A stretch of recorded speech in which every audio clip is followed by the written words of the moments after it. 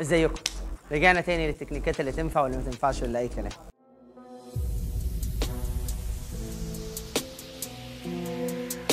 أنت واحد مثبتك.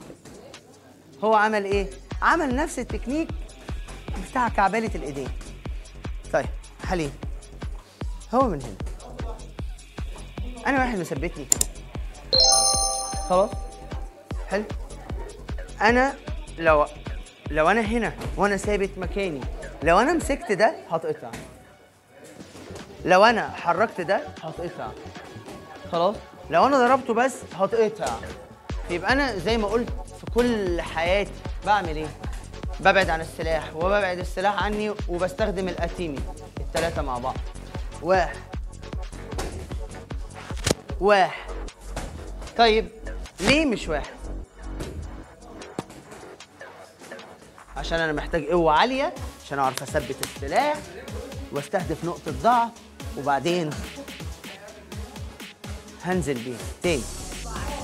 تعالى كده. أنا هنا. هو ثبتني. ما ينفعش أمسك كده.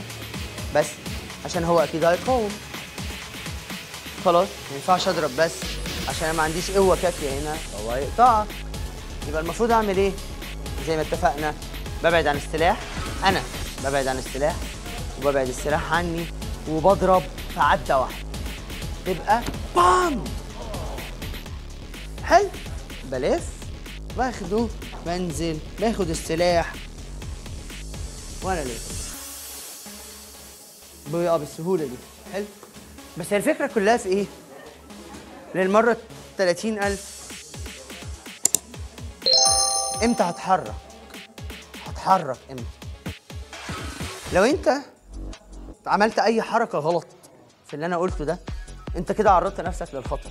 لو أنا مسكت كده بس هو هيقطع. لو انت حاولت تقاوم وتبعد هو هيقطع. فانت لازم تثبت ده التلاتة مع بعض في نفس الوقت. وبعد كده اعمل اللي انت عايزه. بلاش تنزل. اهو اهو. آه. تمام؟ فسهل تعمل حاجات كتير جدا. المهم التوقيت والمسافة. إمتى هشتغل ومسافة شغلي مظبوطة ولا مش مظبوطة؟ وده اللي إحنا بنقوله كتير إنك ما ينفعش تتعلم من ورايا من فيديو زي ده مثلا. تبقى أنت كده بتعرض نفسك للخطر أصلا. تمام؟ فأنت لازم تتمرن. ليه؟ لأن التوقيت والمسافة وإمتى أشتغل ده محتاج وقت كتير وشغل كتير.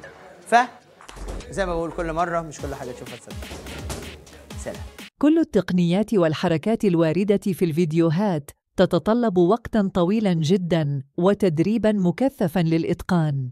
لذلك يرجى عدم تجربة هذه الحركات في المنزل ويجب أن تتدرب على يد متخصص في مثل هذه الرياضات وهذا للتنبيه وافراغا للمسؤولية أمام الله.